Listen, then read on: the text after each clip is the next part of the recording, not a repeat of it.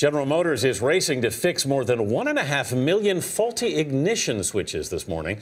The automaker issued another apology Thursday for its failure to act earlier, saying, quote, we deeply regret the events that led to the recall and this investigation. The defect is linked to 31 crashes and 13 deaths. Federal regulators now face criticism over how they handled the investigation. Senator Edward Markey wants changes to the way problems are reported.